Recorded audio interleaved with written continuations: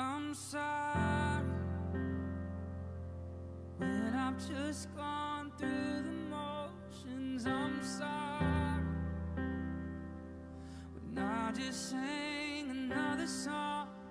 Take me back to where we started. I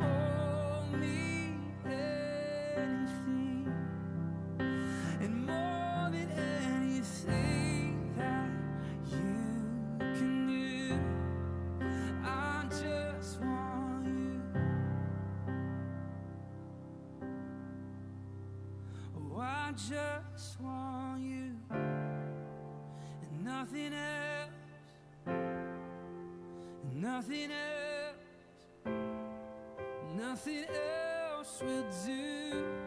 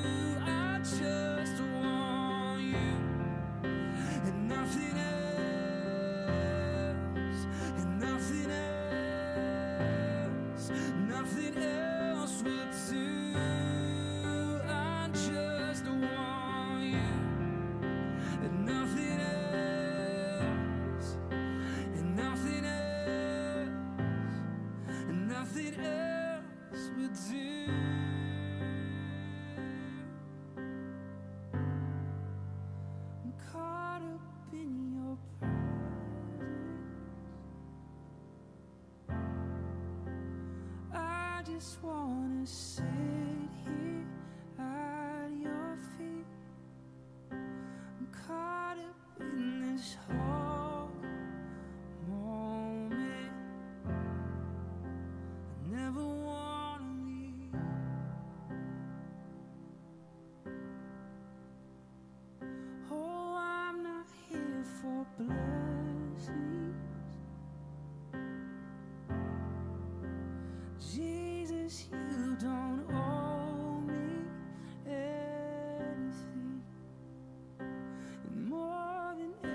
See.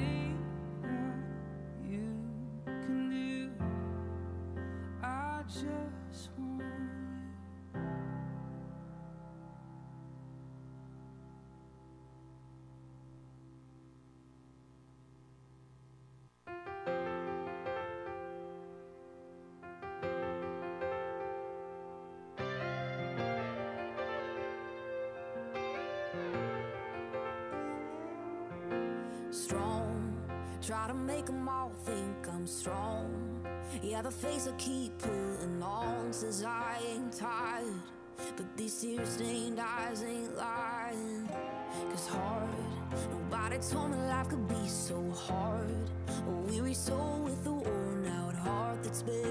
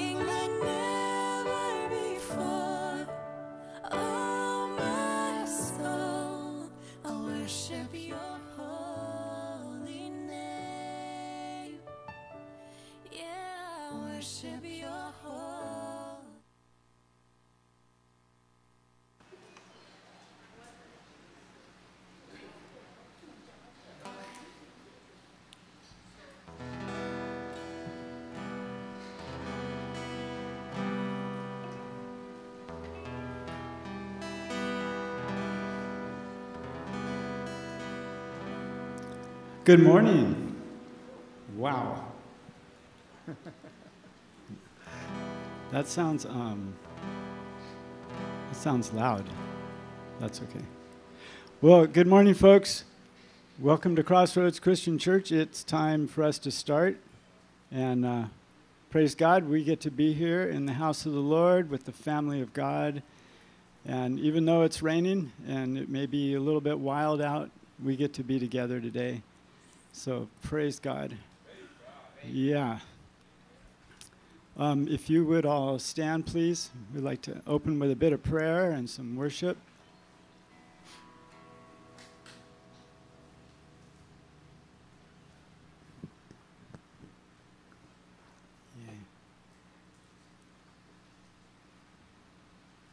Now, Father God, I just want to come before you and ask that you would help us to get our hearts, our minds, um, all right before you, Lord, realizing that we are coming before Almighty God, that's the King of the universe, that all things are in your hands, God. There's nothing above you.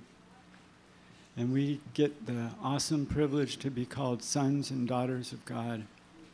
We get to be part of this family, this great family, brothers and sisters of Jesus Christ.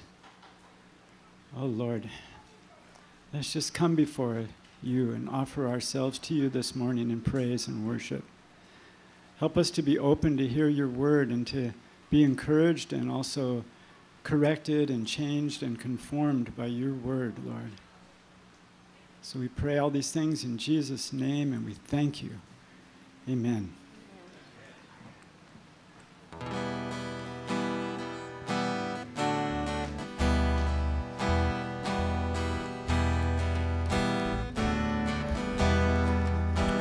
Heavenly armor will enter the land. Battle belongs to the Lord. No weapon that's fashioned against us shall stand. Battle belongs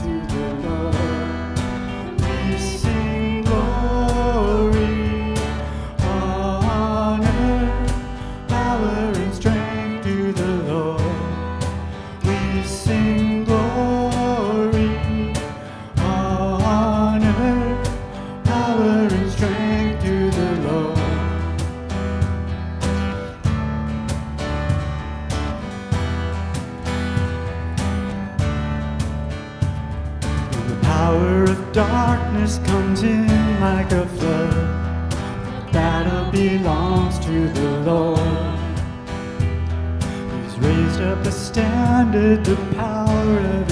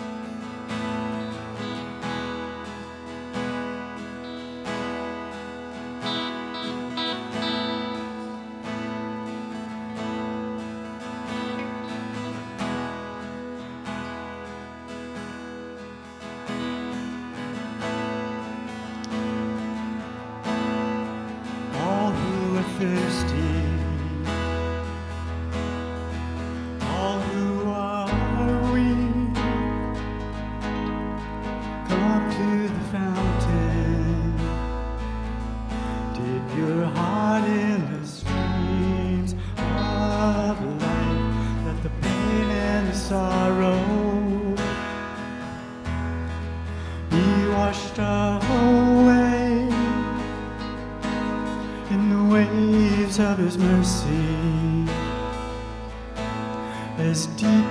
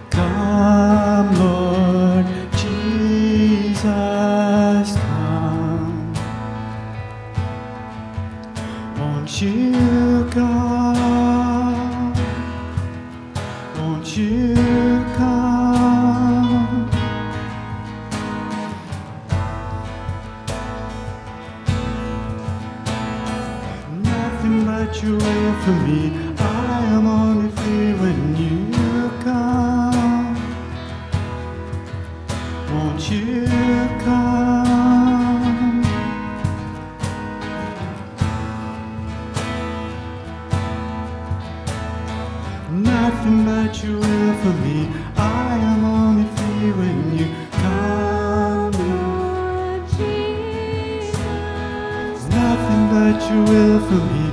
I am only when you Nothing but your will for me. I am only when you Holy Spirit. Nothing but your will for me. I am only when you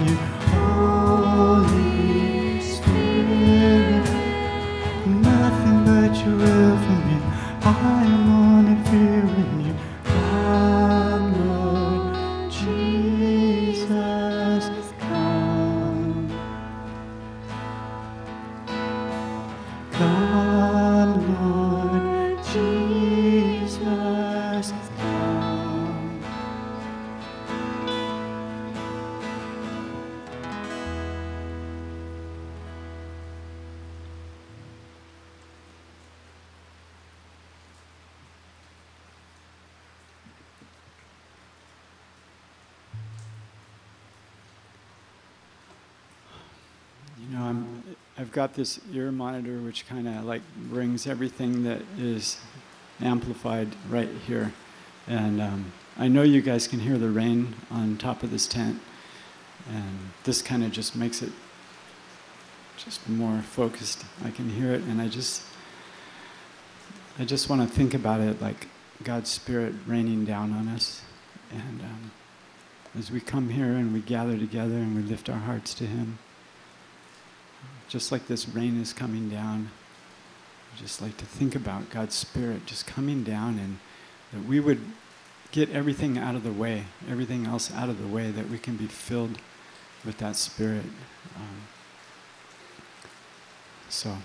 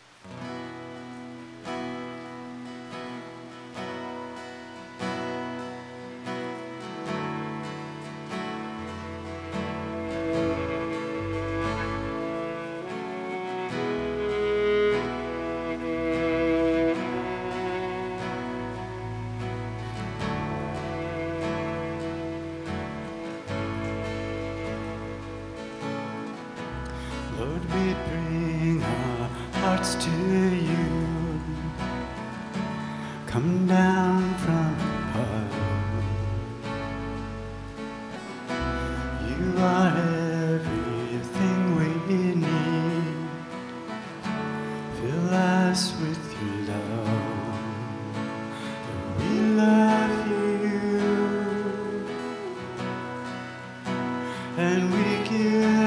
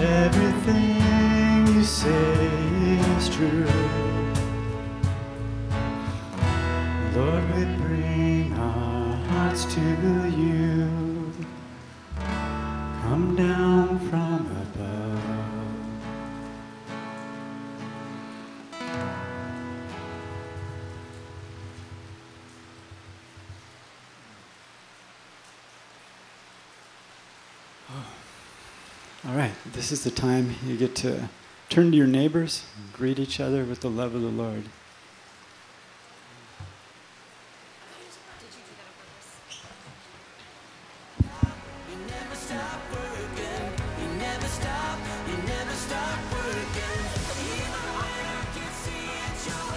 If I can interrupt for just a minute, we do not have a teacher for Sunday school grades two to five.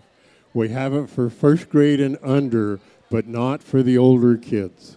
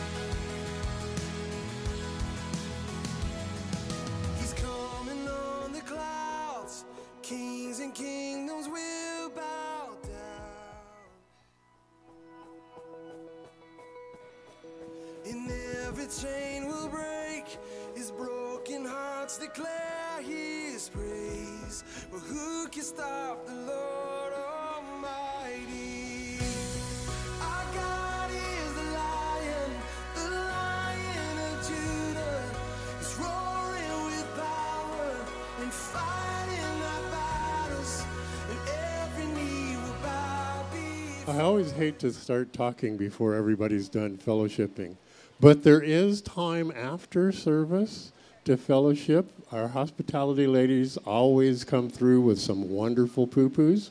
So, and again, if you have children in grades two through five, they are not going to Sunday school today. The kids in first grade and under, um, if you haven't already walked through the rain to take them over there, now would be a good time to do that as we pray, saying, Heavenly Father, thank you so much for the kids. Thank you for the teachers that have made it here today. Thank you for the parents that brought their kids. Um, thank you for loving us and loving our kids and helping us to get them ready to walk the path that you have designed for them. In your holy name, amen. If you are feeling called, we could use more Sunday school teachers, obviously. Uh, so, Sandy would love to talk to you about taking on one of the classes. So, you can see her after service today. Next Sunday, the 21st, actually, before we get into that, you know, thank you for joining us in our liquid sunshine. Um, and let's take a quick moment and pray for all of those people that have been impacted by the rain.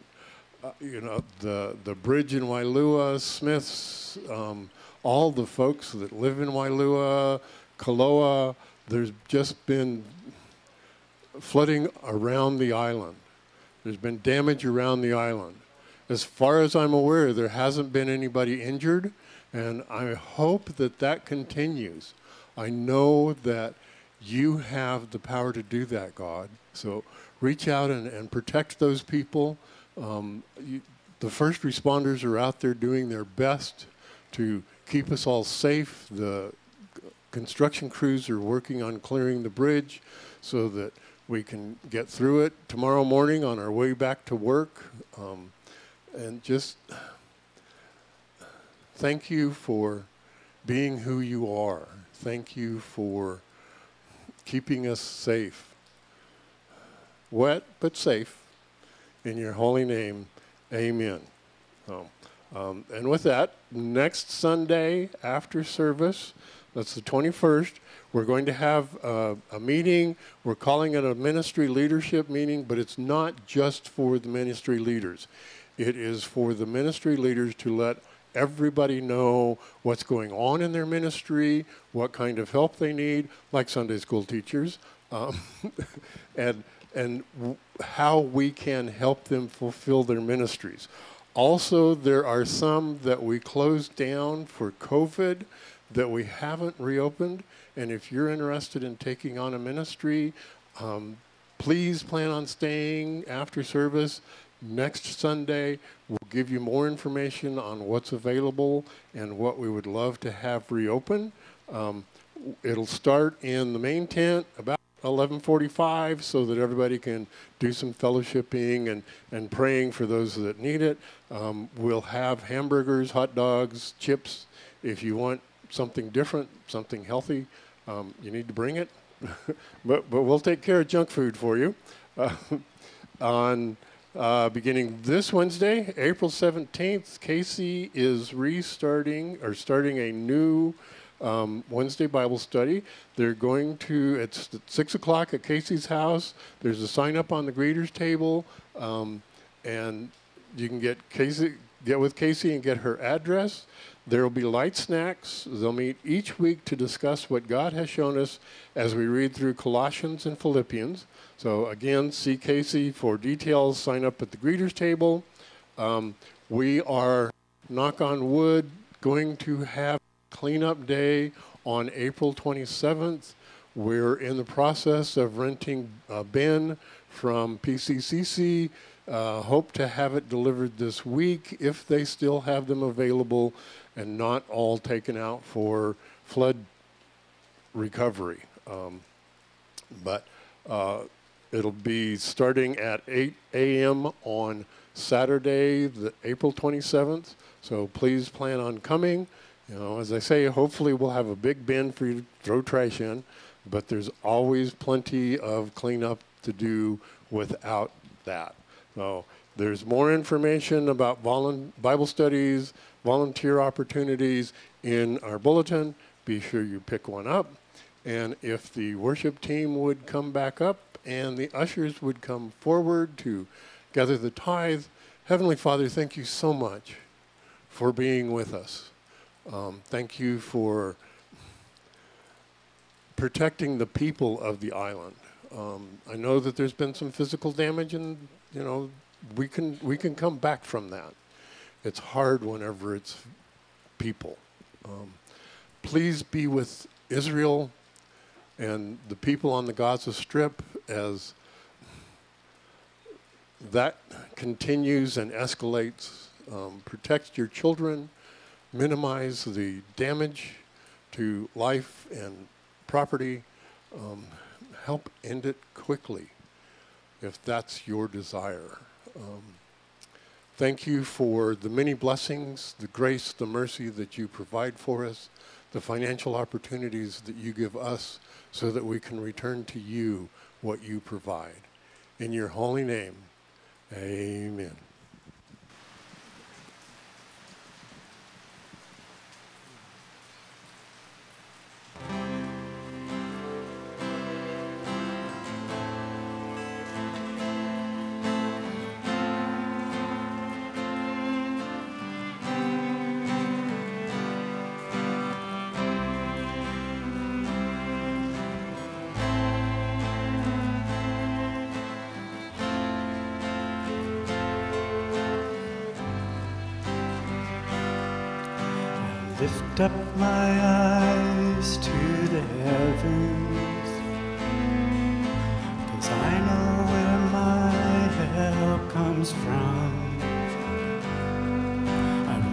My mind upon you, Jesus, my Savior, God's only Son.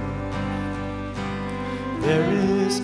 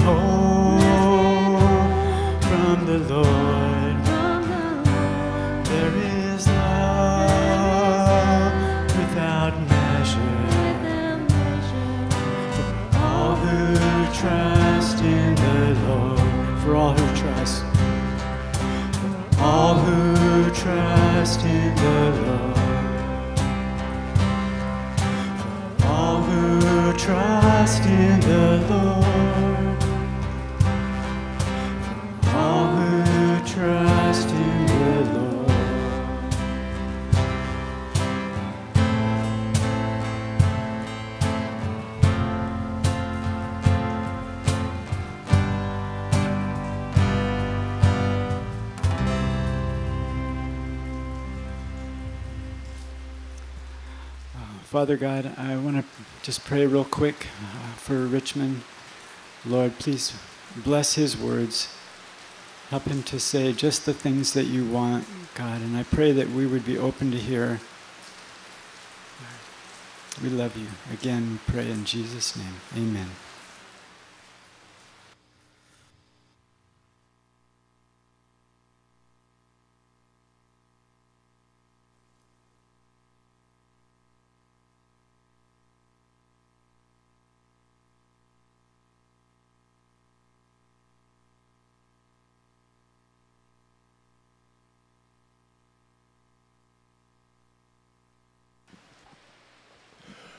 For those of you that weren't here last week, Richmond Shee is here doing a three week series. Um, and this is week two of it. And thank you very much for, for coming and, and spending time with us. Um, Heavenly Father, be with Richmond as he shares your word with us today. Um, make sure that that one person that's here that needs to hear hears. Um, open their ears, open their heart, let them find you through Richmond's word today, actually, your word through Richmond's mouth. Um, thank you so much for putting it on his heart to teach us and people on the island, people on the internet, and be with him, protect him, help him as he helps each and every one of us, as you do too. In your holy name, amen. Amen. Thank you, Fred. Am I on? Can you hear me? Yes? Well, good morning, church. Good to see everybody, all the brave souls today with this, uh, what Fred called, uh, um, what, what, what, what, what did he use just another term? Liquid sunshine, isn't it? Or sky juice. It's a blessing. Well, welcome everyone. We are we are going down the book of uh, Ecclesiastes. Uh, last week we just really covered uh, we covered like two verses, and today we're going to cover a little bit more. Um, it's a great book of wisdom. It's, it is the uh, pinnacle of wisdom. So typically, when you begin reading or studying the book of Ecclesiastes, you will go through the book, uh, the, the book of wisdom, you will go through the book of Psalms and Proverbs. But Ecclesiastes is the pinnacle of wisdom because it really is. Um, when you consider all the writings of Solomon and what's in it, it's just so incredible. And so the goal is really just to gain insights from Solomon from the eight first eight verses of the book of Ecclesiastes. I'm getting a bit of echo here. Maybe. Uh, um, these eight verses, if you can just really get it down, you can truly understand just eight verses, not even the whole book of Ecclesiastes. It will radically change your life. Truly. I mean, just only eight verses. You've got to get it down. You've got to truly understand it you will not be doing the crazy stuff that most people are doing with your lives, uh, ruining their lives, wasting a bunch of time. You know, you will be radically changed. That is how deep, how incredible this, this book is. So let's, take, uh, let's read that first eight verses, uh, and the Lord will give you understanding. It says, The words of the preacher, capital P preacher, the son of David, king in Jerusalem. Vanity of vanities, saith the preacher, vanity of vanities, all is vanity. What profit hath a man of all his labor which he taketh under the sun? One generation passes away, and another generation cometh, but the earth abideth forever. Uh, verse 5 The sun also arises, and the sun goeth down and hasteth to his place where he arose. The wind goeth toward the south and turneth about unto the north. It whirleth about continually, and the wind returneth again according to his circuits. all the rivers run into the sea, yet the sea is not full. Unto the place from whence the rivers come, thither they return again. All things are full of labor, men cannot utter it. The eye is not satisfied with seeing, nor the ear filled with hearing. So, Solomon, we talked about Solomon's qualification last week, just a quick recap. How incredible it is that we have this privilege to be able to learn from Solomon, to have Solomon as our sensei.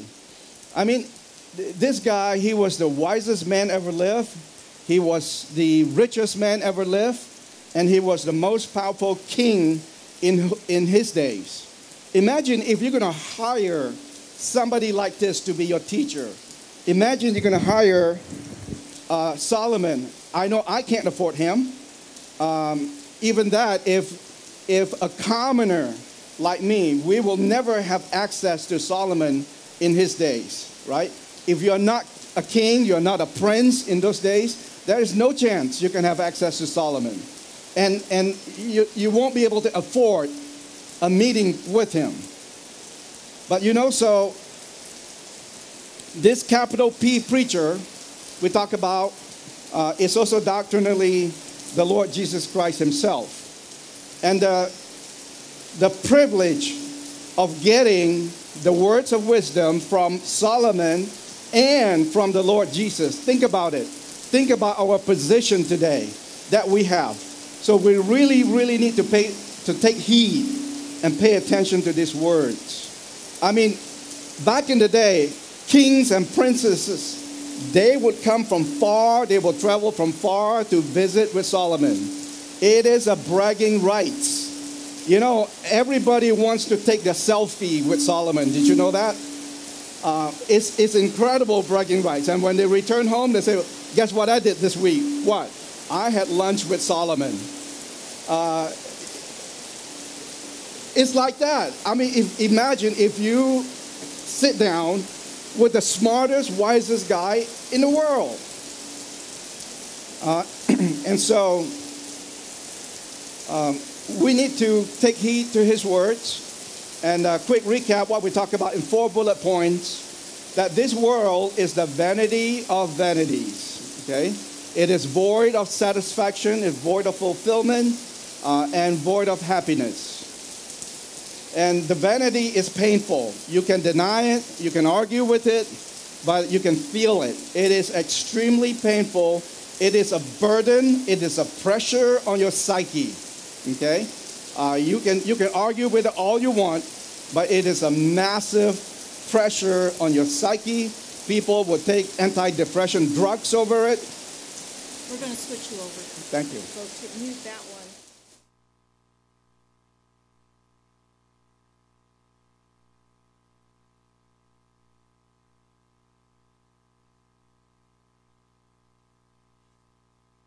You hear me? Yes? Better? Thank you. I can do that. Um,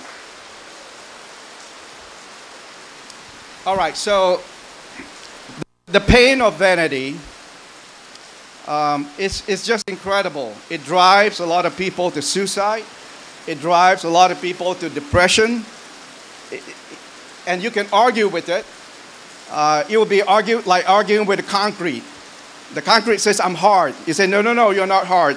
And you slam yourself against the concrete, and the concrete is going to win every time. Vanity of vanities is painful.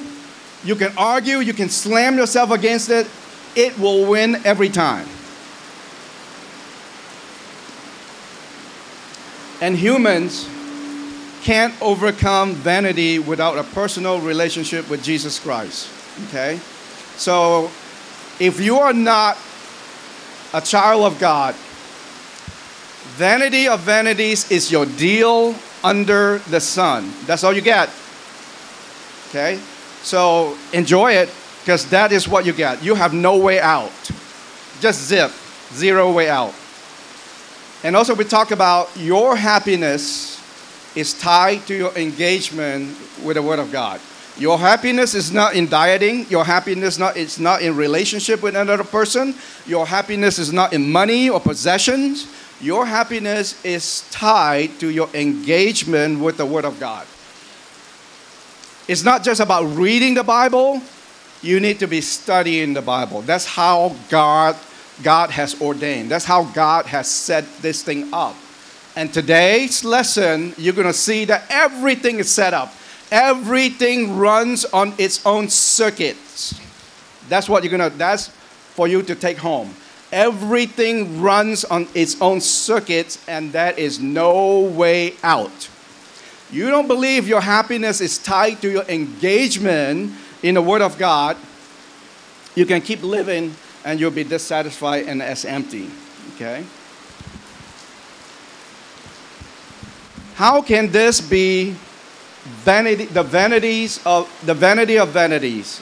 How can this be? You know, I'm talking to um, to um, tourists. They're like, "Oh, you are so lucky to live in Kauai, so beautiful here." And I tell them, you know, we have one of the highest suicide rates here. They said, What? No way. Way. Yeah. You can check it out for yourself. How come? It's true. And I tell them, This place is very dark.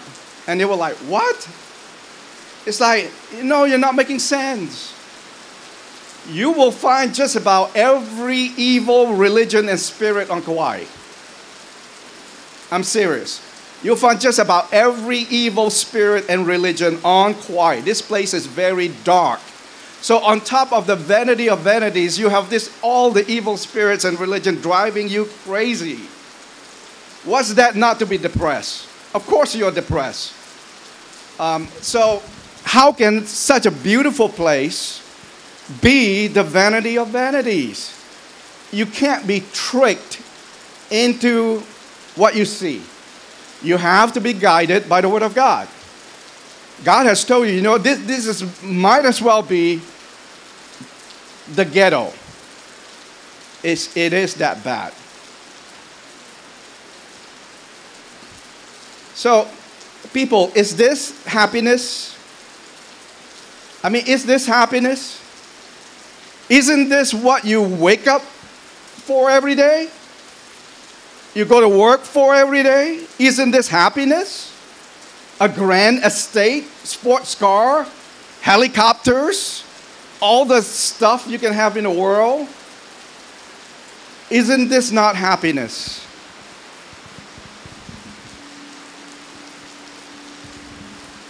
You know, these people who live in this mansion, they live like a king, they eat like a king, they play like a king. The lady of, a, of the house, the wife, has a 10 carat diamond ring on her finger. All kinds of expensive and one of the kind jewelries. She wears designer clothing. A closet full of, of handbags and shoes. You know, ladies, all the MKs, all the Coach, Prada, Gucci, Louis Vuitton, Chanel, Hermes, Bottega, she got them all. Closet full. The husband has expensive toys. One sports car, not enough. Two. One helicopter, not enough. Two helicopters. Isn't this happiness? But in this home, they can't sleep. They need Ambien. They use antidepressant drugs, including their children. They have mental health issues due to anxiety, depression, and stress. The pressure to maintain and increase wealth is overwhelming. They're never satisfied. They want to keep more and more and more. The eyes are never satisfied. They're addicted to painkillers because they are so the pressure is so painful. And they have marital problems because they don't have time for each other. And they're depressed and unsatisfied. No, you know, this is not against wealth. If you have one of these, call me up. Send your helicopters to get me. We'll do Bible study at your place. Right? If you can afford one of those homes in Kukui Ula, hey, let's have Bible study and party at your place, right? So this is not against wealth. You have, you have this, great. Let's use it for the Lord. But if you are counting on this to be your happiness, you might want to rethink the whole thing. Have you ever tried to break a pinata? Ever tried hitting a pinata? So you work hard, you, you, you, you hit a pinata hoping, all right, hoping to get some sweets, hoping to get some treats. So you work hard, you, you, you're batting this pinata, you hit it and hit it over and over. Um, and when, when it breaks open, it's empty. It's empty. So the world is like this empty pinata where you work hard at trying for something, hoping for something. But when it breaks open, there's nothing in there. Absolutely nothing in there. What, how disappointing how depressing. What do you get from empty? What do you get from empty? Depre- depression, emptiness, unsatisfaction. That's what you get from emptiness. Now, Solomon, being the wisest guy ever lived, he fully anticipated nobody is going to believe what he said. He said, This is vanity of vanities, repeated twice all his vanity, he fully anticipated, like, oh, no way, this is not vanity. I wake up every morning, I want more stuff. So he asks you a question What profit hath a man of all his labor which he taketh under the sun? Every morning you get up, every morning you work so hard, every day. What do you get from it? What do you get from empty? What is zero multiplied by anything?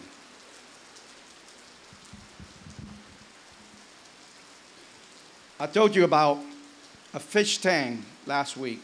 You know how you, you, you, you get a fish tank, you put beautiful colored gravels down, uh, you put some nice little caves for the fish to hide in, you put plants in there, and you put lights in there, you put water, you put fish in there, and those fish are like, oh, it's so beautiful in here. But you never put happiness in the tank. You don't put satisfaction in the tank. You don't put fulfillment in the tank. Those are outside the tank. Same with this world. We're in this fish tank. Like, oh, everything's so beautiful, is so beautiful.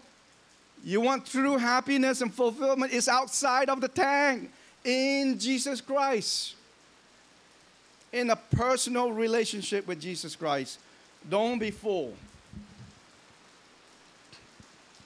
So here we go. One generation passes away, and another generation cometh, but the earth abideth forever. Nothing has changed since the earth became vain. Nothing has changed since the day the earth became vain. Nothing has changed. The only thing that has changed is generation of humans so foolish, trying, like hitting the pinata, hitting the empty pinata. Every generation repeats the same foolishness. Every generation thinks they are it, that they are the smartest, when there hasn't been anything's changed. The earth abideth forever. It has been the same. So you are betting against something that has not changed. Vanity of vanities hasn't changed. And you think somehow you are smarter, somehow you are stronger, somehow you're the only person in the world who can change that. When generations upon generations upon generations have has come and gone and failed.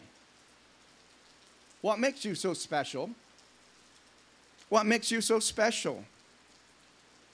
Every generation betting zero. The earth abideth forever. Nothing's changed.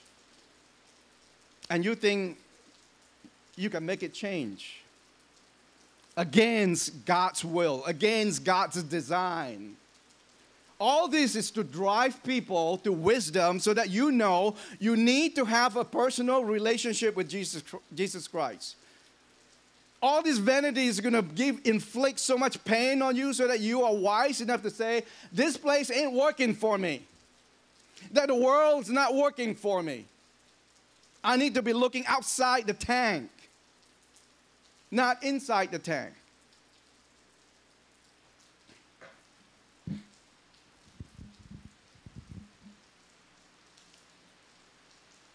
You know, the problem is because the world is set in our hearts. Ecclesiastes 3:11 says, "He hath made everything beautiful in his time."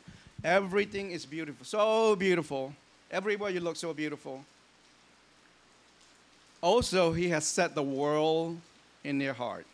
That's a problem. Every child has a world in its heart. You have to use the Bible, you have to teach the child to remove, to unset that world from, from the child's heart. From the get go, the world is in their heart. By default, that is the default position. They would love the world. They will not love God. They will not love the words of God. They will love the world. That is just from the get go. Every child born has the world in his or her heart. And so, Sunday school teachers, Bible teachers, that's our job. Is to communicate the reality. You don't catch that little kid when they were young, you don't teach this kind of wisdom.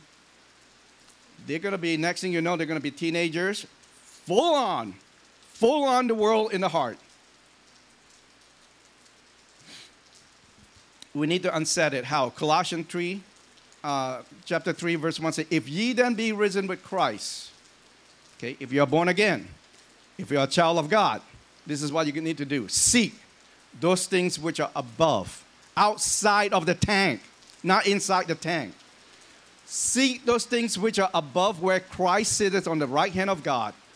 Set your affection on things above and not on the things on the earth. Pretty straightforward. Now, let me rephrase that for you. If you are not the child of God, you can't do that. It's quite impossible for you to set your affection on things above. Impossible if you're not a child of God. Because this ability is only possible if you are risen with Christ. If you are not risen with Christ, this is your deal under the sun. The vanity of vanities is your deal under the sun.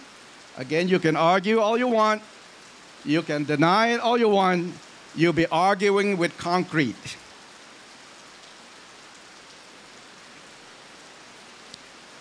All right, we're gonna jump. We're gonna dive in a little bit. The sun also arises, and the sun goeth down,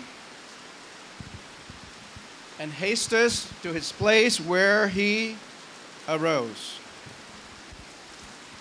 Now, people, indulge me for a moment. The sun rises from the from the east. The sun sets from the in the west. The next day, the sun rises from the and the sun sets in the the next day. The sun rises from the east and the sun sets in there. There is a circuit that the sun cannot get out of. Have you ever seen the sun rises from the north or south or west? If you say yes, you're delusional. There is a circuit that God designed that everything is fixed. As much as the sun said, "Ah, you know, this is too, this is too laborious. This is very tiresome. I, I'm sick of doing this thing because every morning I wake up at, at the east and every evening I set in the west. I'm tired of doing this. I don't want to do this no more. No can. No can. The next morning you are back at square one. You're back at square one.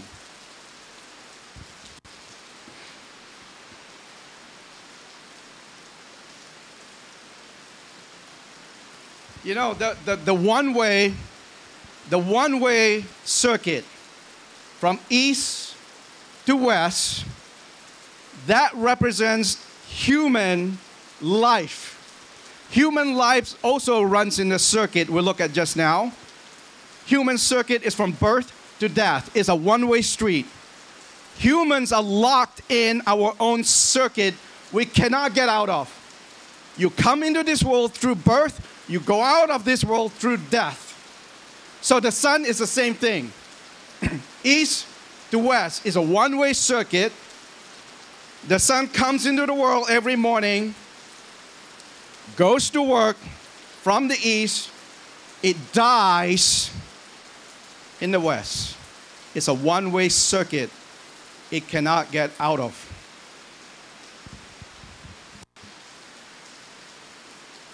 But you know how restless it is for the sun.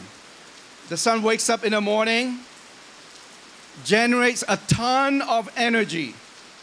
Oh, look at the, the bright noon sun, how hot it is. And then next thing you know, what happens? How quickly it sets. And the verse says, and hasteth to his place where he arose. The restlessness in this world.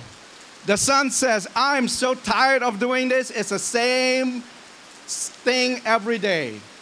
This is the ultimate groundhog day. I want to I don't want to do this anymore. No, you no can.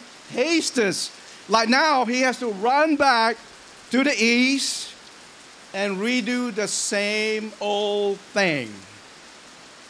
Now, let me ask you that is just like human nature. That is our deal under the sun. You, you were born so cute, so lovely. Or the next thing you know, you are a toddler walking. Or next thing you know, you go to grade school. Or next thing you know, you are college. Or next thing you know, you are married, have kids. And you are in the prime of your days. You are the prime of your days. And next thing you know, what happens? You are a setting sun. Realize the sun also arise, comma. There is no mention of the prominent sun. There is no mention of the noonday. You know why? The sun arises, the sun goes down. Or what happened to the glorious sun? What happened to the noonday sun? What happened to my prominent position? I am in the prime of my days. People, if you are in the prime of your days, please don't blink. The moment you blink, oh, what's this? Gray hair. Oh, what's this? Back pain. Oh, what's this? Hip replacement. Oh, what's this? Knee replacement. Don't blink. If you think you are in a prominent place, to, oh, you're so strong. Oh, you're so smart. You blink, the sun goes down. Life is like that.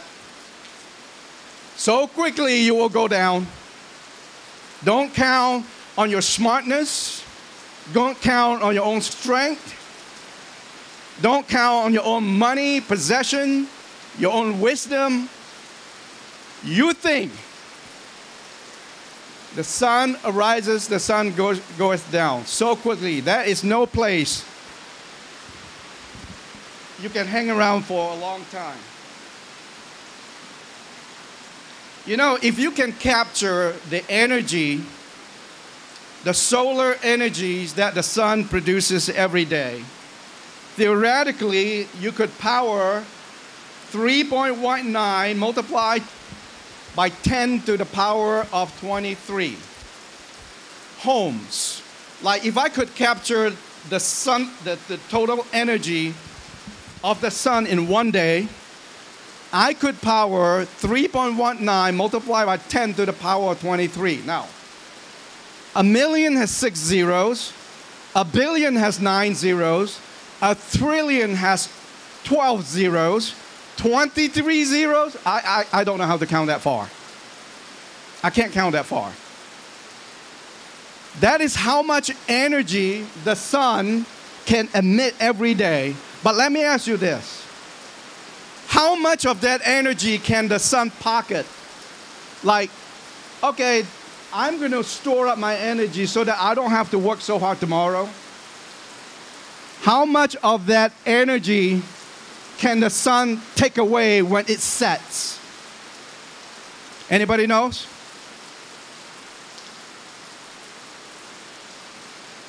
When the sun sets, it takes away nothing. And it has to haste back to the east and start everything all over again from square one. You are not going to take anything away from your life if you are living for self. If you think, oh, I'm so smart, oh, I'm so great, I'm in my prime time. Next thing you know, you're going to set like the, like the setting sun. And when you die, what can you take with you? Like the sun, it generates tons and tons of energy every day. And yet it will take zilch at the end of the day. The next day, you're going to be doing that all over again. The next generation, the next incarnation, you're going to be doing that all over again from square one. That is wisdom. That is wisdom. If you don't live for Jesus Christ, if you don't serve God, do you know your life is such vanity you can't take nothing away? It doesn't matter who you are. Really, it doesn't matter who you are. You're not going to take anything away. Zip. The only way you're going to take something with you is that you serve the Lord Jesus Christ. Be in ministry. Do the work of ministry. Then you have something to show when you go up to heaven. I keep telling people all the time good news, you'll see Jesus. Bad news, you'll see Jesus. You don't want to show up in heaven empty handed because why? Like the sun, you have nothing to show. Zip, nothing to show. And as a Christian, born again by the word and blood of Jesus, you appear before Him zero. I don't want anybody near you. I don't want to be anywhere near the blast radius near you.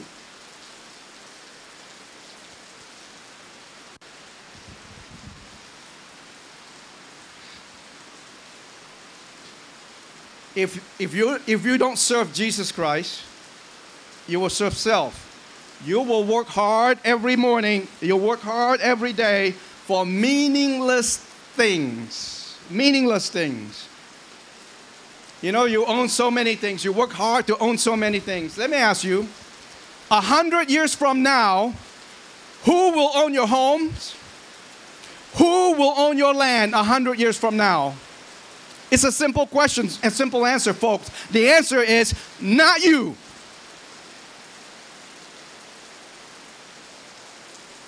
Who will own that Ferrari that you got a hundred years from now? The answer is not you. And you'll take nothing with you to heaven. Nothing.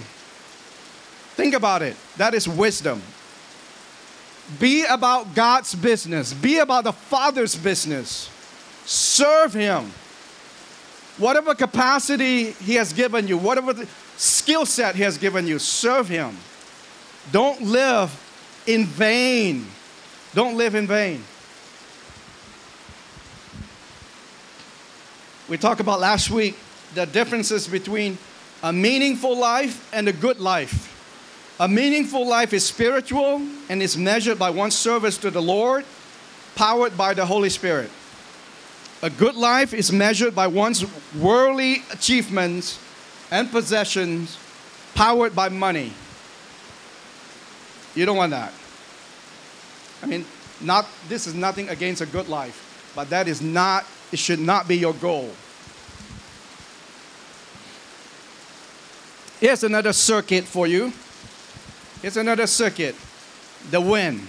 So now we'll look at the sun, look at the wind.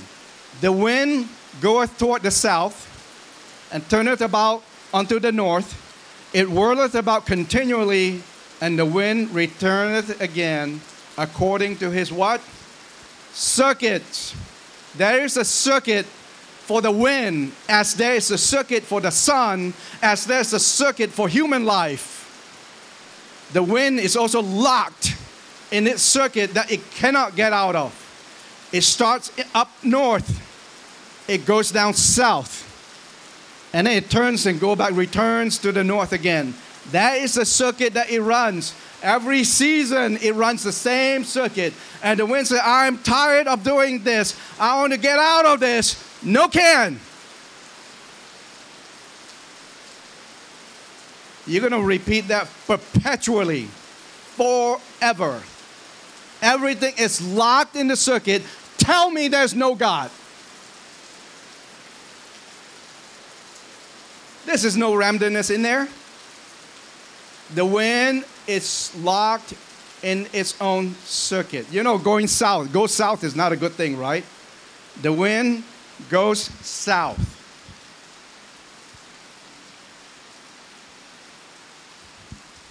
And not only that, it's also restless. It is so restless. Just like the human life is so restless. Every morning you come, you wake up, you work so hard for meaningless things. So restless. The wind is rest, it whirleth about continually. And when it's all said and done, it comes to the south and it goes back to the north, back to square one. Back to square one. No gain, it gains nothing from all that world. You know how powerful hurricanes are, you know how powerful tornadoes are. All this energy that the winds generates. If you could capture all the energy of winds in one day, you could power billions of homes in one day. But the next day, it has to redo all over again. All over again. You're not going to gain anything. You're not going to take anything away.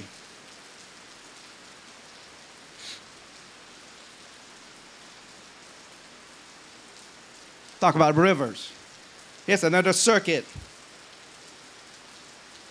Another circuit. All the rivers of the world, where do they end up? They end up in the ocean. All the rivers run into the sea, yet the sea is not full. Onto the place from whence the rivers come, thither they return again. You know, the output rate of the Amazon River, the largest river in the world, the output rate of the Amazon River alone is 7.4 million cubic feet per second. So you can just imagine 7.4 million cubic feet. 7 million. 7 million. 7 million. Filling the ocean. How long has the rivers been doing that? Anybody's guess? How long? How long has been all the rivers been trying to fill the ocean? Two days? Three days? Ten years? Thousands of years? Millions of years? Has the ocean become full? What happened?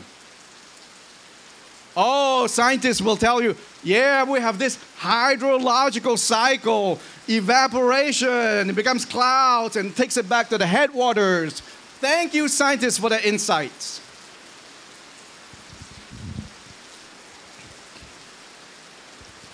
All the rivers run into the sea, and that's just Amazon alone. Just the top five largest river in the world, the Congo River, 1.4 million cubic feet per second. The Gan- Ganges River, 1.3 million cubic feet. Orinoco River, 1.3 million. Yangtze River, 1.1 million cubic feet per second. You sum up all the rivers, including Wailua River, these rivers have been trying to fill the ocean for thousands, if not millions of years, yet the ocean is never full. Never full.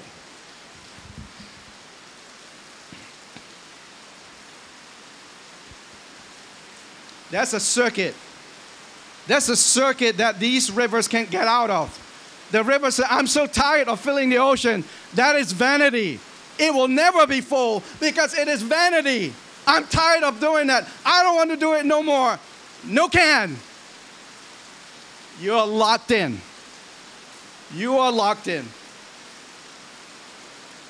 What benefit does it get? It has been pouring out into the ocean for thousands of years, yet no benefit. No benefit and it starts all over again from the headwaters. All just like the sun going back to the east, just like the wind going back to the north, the rivers is going to go back, all the water is going to go back to the headwaters. You're not going to gain anything. You're not going to take anything with you. Listen to the words of wisdom.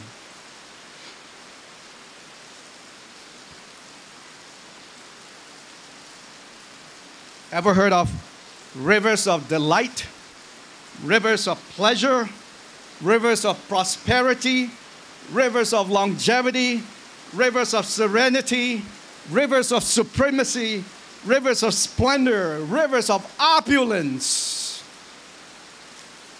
All those rivers have been trying to fill this ocean, and this ocean is never full. Rivers of drugs, rivers of alcohol, rivers of women.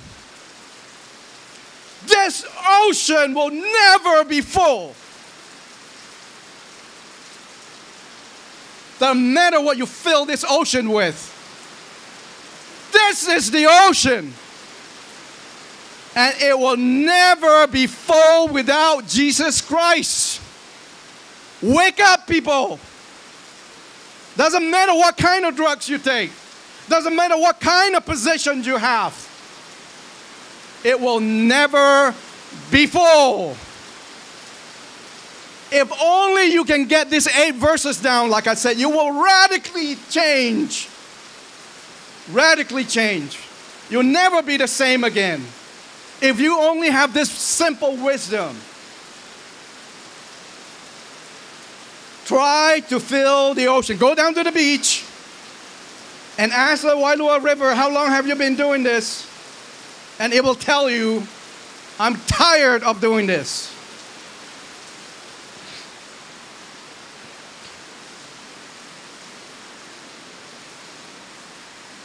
Yet the ocean will always be trouble. It's a restless sea, always restless can never be satisfied. And you know what? Humans chase after happiness like the sun from east to west and come back to east. You are no closer to happiness.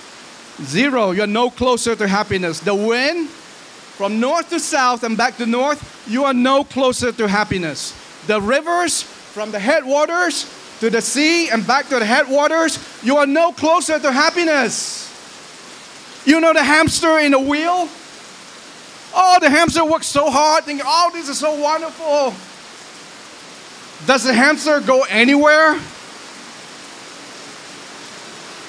Life on earth without Jesus, you are like a hamster in a wheel. No closer to happiness, doesn't matter what you do. No wonder you're depressed.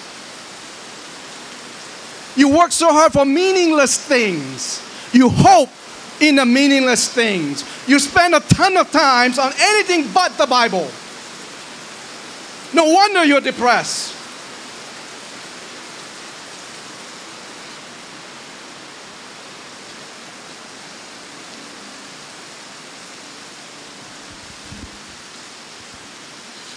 Everything runs in its circuit.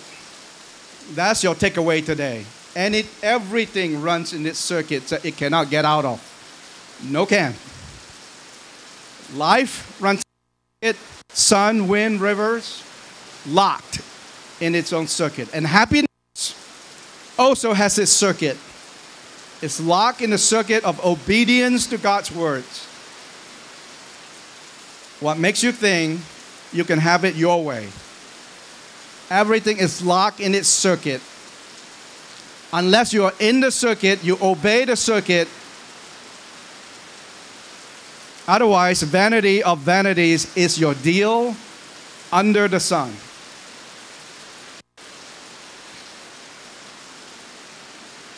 All right. Bible students, I'm going to have something for you. Pay attention. In verse 5, in verse 5, look at your verse 5 in your Bible again. Look at verse 5. Who is the Son? In verse 5, there is a pronoun. The Son is referred to as He. Okay? Let's go back to verse 5. The sun also arises, and the sun goeth down and hasteth to his place. The pronoun for the sun is he. Who is the sun?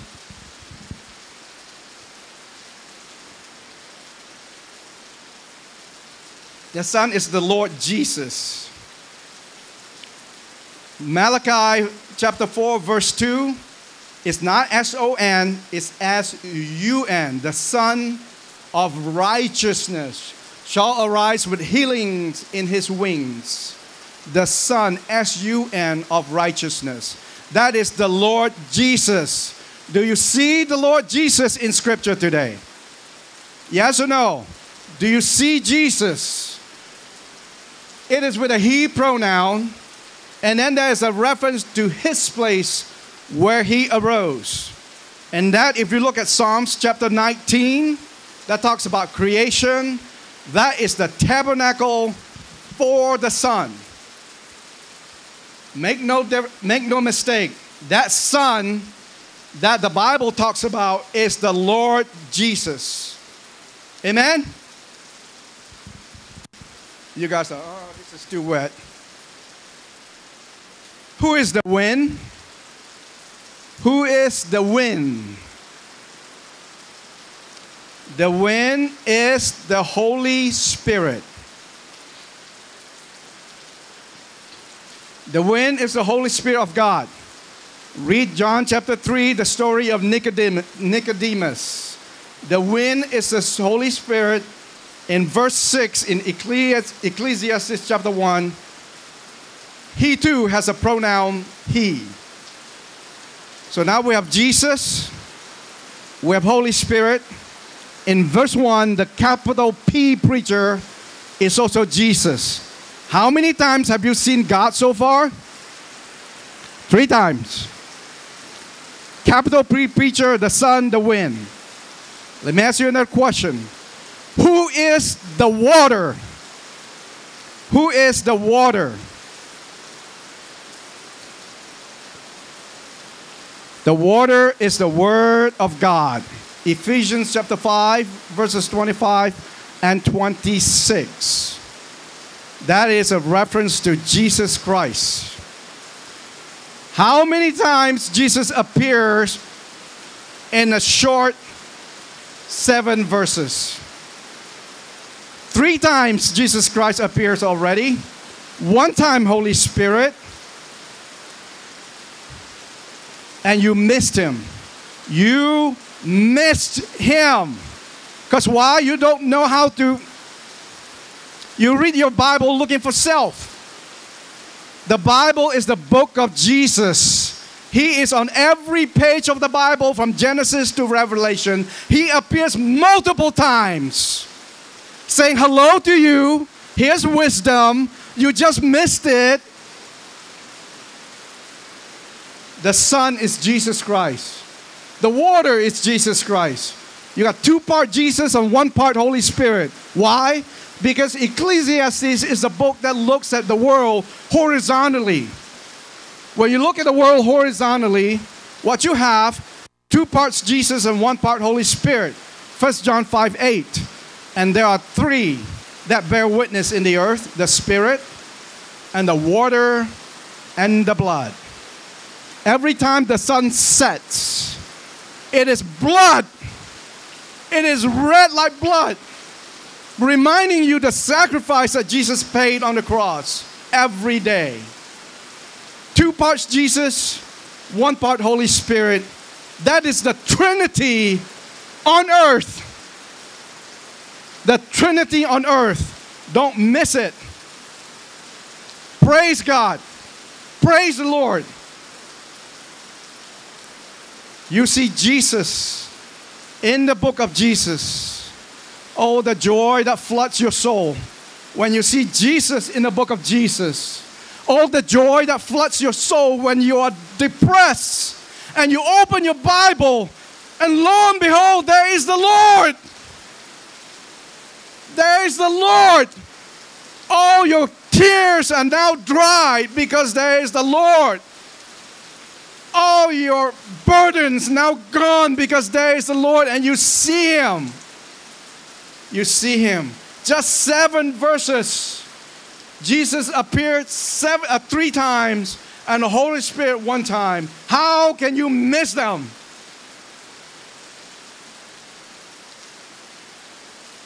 What depression?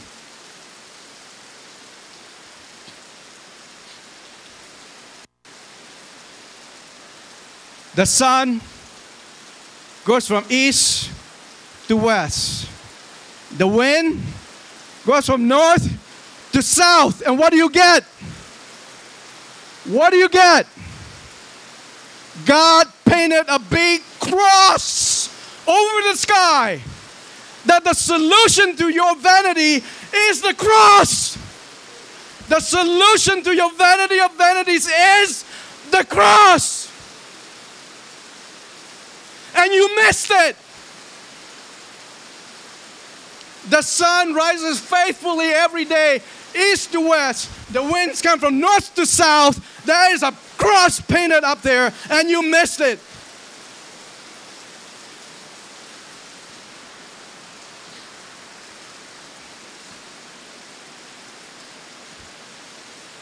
Always remember God is worth being right with.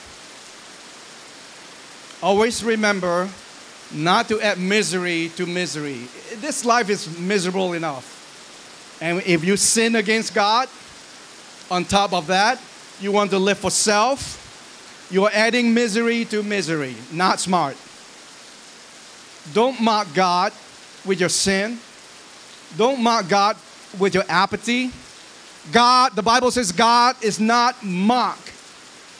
God is not mocked. He will have the last word, believe me. He will have the last word. Teach your children what God has given you the sun, the wind, and the river. All those are free. You don't have to pay an entrance fee like you're going to Disneyland. All those are free stuff. Teach your children, take your children down to the beach. Watch the sunrise, watch the sunset. When it is windy day, talk about the wind. When the river, talk about the river. Teach your children. Free stuff. And if you want to learn the Bible, Next Monday, we're going to begin a new class on how to rightly divide the word of truth. You all invited. Kapa'a Neighborhood Center, 6 o'clock every Monday. Uh, the commitment is seven weeks, so I hope to see you all there. Father God, thank you, Lord. Thank you for your wisdom. Thank you for putting yourself in Scripture that we may see you, Lord. How, what a blessing. Who cares if it rains? Who cares? We are not depressed. We see Jesus. Thank you, Lord. We appreciate you, Lord. We praise you in Jesus' name. Amen.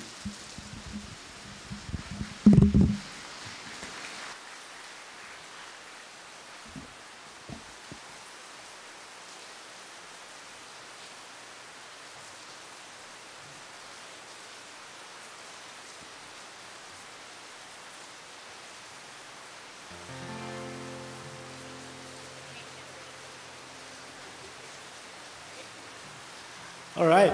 Wow. Stand up, if you will, and um, we will praise God in this last song.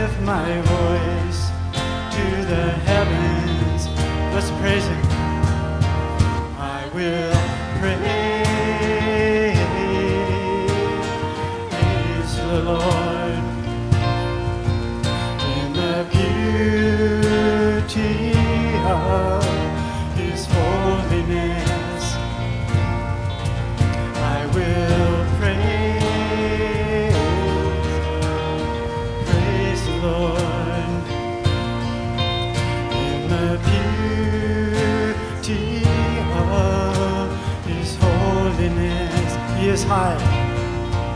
He is high and lifted up. His glory covers the earth. And I lift my voice to the heavens. I will praise.